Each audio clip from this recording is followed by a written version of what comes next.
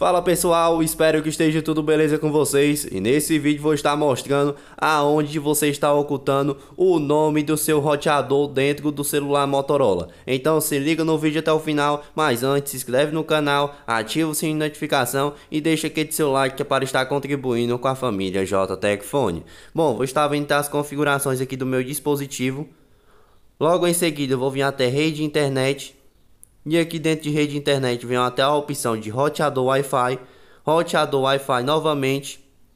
E logo após isso vai ter a opção aqui de você estar ocultando meu dispositivo. Aperta dentro desse quadrado Logo em seguida aperta em ocultar e já vai ter ocultado o seu roteador aqui dentro do seu celular. Então após você, após você estar ligando aquele seu roteador, a pessoa vai ter que procurar pelo nome para poder estar sendo conectada. Ou então caso isso, ela não vai conseguir encontrar. Então é uma configuração muito legal de você estar utilizando sem dificuldade alguma. E no mais espero ter ajudado e contribuído com mais essa dica aqui dentro do canal. E até a próxima família JTech Phone.